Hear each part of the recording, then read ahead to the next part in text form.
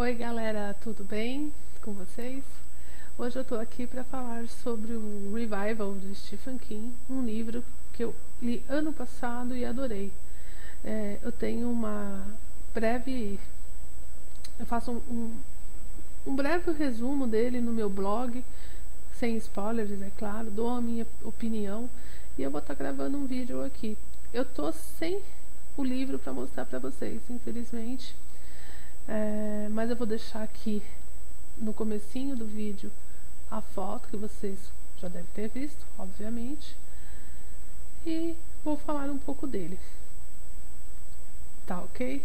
É, o Revival, é, ele tem e-book, tem em edição física, é um livro com 376 páginas e muito delicioso de ler, apesar do final bem, digamos assim, sombrio. Tá? É, o livro fala sobre um relato impressionante da vida de Jamie Morton, que conheceu o pastor Charles ainda muito criança, lá com seus 5 anos de idade. Logo no início do livro, o Jamie cita o pastor como um, um personagem, é aquele que a gente vai esbarrando em determinados momentos da vida. Ele chama de quinto personagem, o, o Jamie Morton. É, o Jacob muda para a cidade onde que eles moram ali na Nova Inglaterra para se tornar um pastor da igreja da comunidade da comunidade onde onde Morton mora. E ele é um jovem super inteligente o Jacobs e casado com uma moça muito linda ele tem um filho pequeno e em pouco tempo o pastor e, e, a sua esposa vão conquistando o seu lugar lá na comunidade e com seu jeitinho diferente de ensinar a juventude, conquista cada vez mais os fiéis da, lá da congregação. E eles vão indo, os jovens que andavam meio afastados começam a voltar para a igreja. O Jacobs, ele é fascinado por eletricidade e estuda nas horas vagas como um hobby. E ele gosta muito de fazer é, coisinhas eletrônicas, maquetes eletrônicas.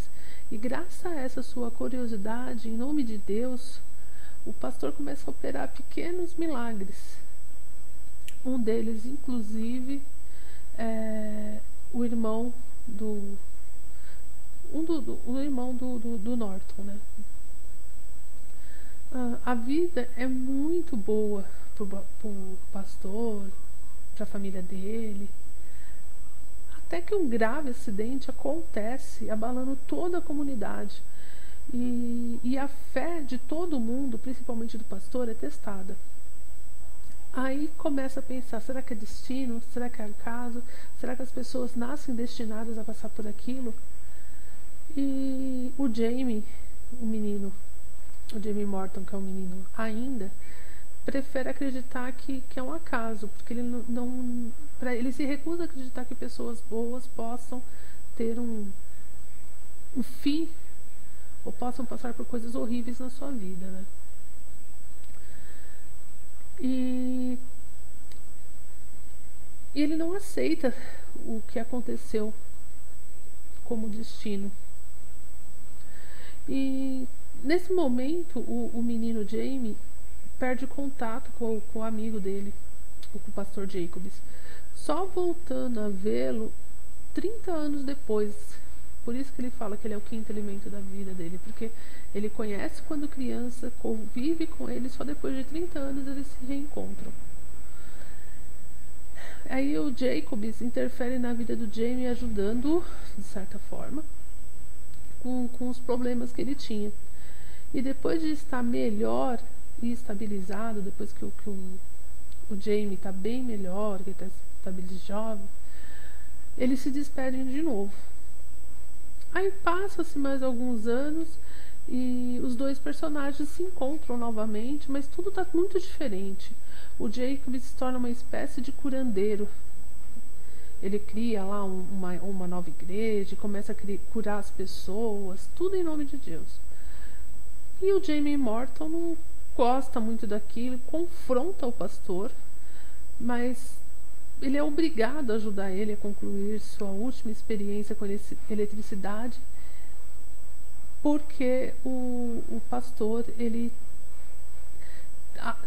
está ajudando de certa forma uma pessoa muito importante na, na vida do Jamie.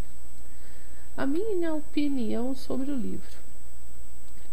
Eu esperava muito, muito, muito mais esse livro.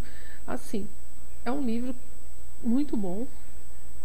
É, eu li ele super rápido, mas quando chegou no final do livro, assim, nos momentos finais do livro, eu me decepcionei bastante.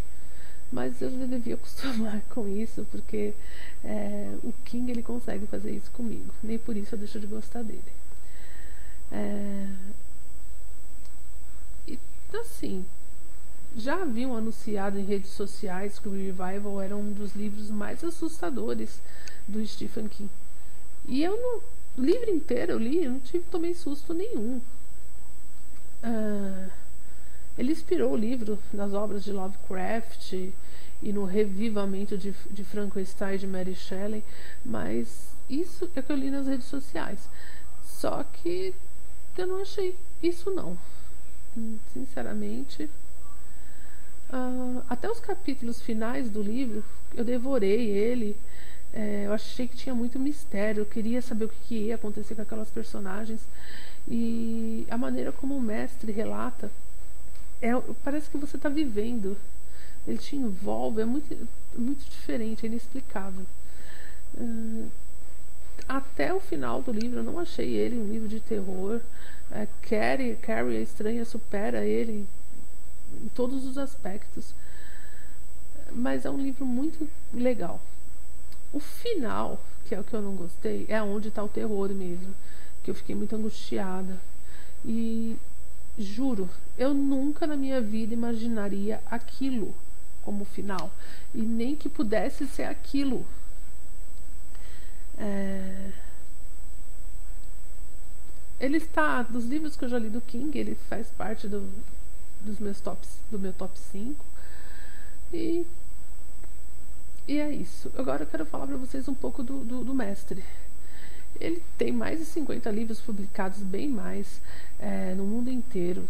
O, os mais recentes incluem a trilogia é, da senhora Mercedes, Mr. Mercedes, é, Revival, o Doutor Sono, e uns livros de conto que eu não vou me recordar o nome agora. É, eu ainda já estou uh, lendo, ainda não concluí o livro sobre a redoma dele, que virou uma série de TV. E outras, a Mr. Mr. vai virar o filme ou série, não estou recordando. Agora em setembro, eles vão estar tá lançando aqui no Brasil It, é, que é um, um filme baseado no livro dele novamente, né? Porque já tem um antigo. Que parece que vai ser mais fiel ao livro, né? É, fora os livros que ele escreveu sobre como o que é ser escritor, é, uns livros de não ficção, né? Ah, ganhou vários prêmios e tem várias adaptações para o cinema, para televisão, vários roteiros exclusivos de cinema e exclusivos da TV. É, em 2003 é, Deixa eu só confirmar aqui. É, em 2003, King recebeu a medalha de contribuição às letras americanas da National Book Foundations, alguma coisa assim. E ele foi nomeado em 2007 grão-mestre dos escritores de mistérios dos Estados Unidos. Ele mora no Maine tá? Bangor, no Maine, com a esposa, que também é escritora, Tabitha King. E eu tenho um filho maravilhoso, Joy Hill, que também é escritor. É isso, gente. Eu espero que vocês tenham gostado do vídeo. Infelizmente, eu tô sem um livro aqui para mostrar para vocês. Um grande beijo e até o próximo. Tchau.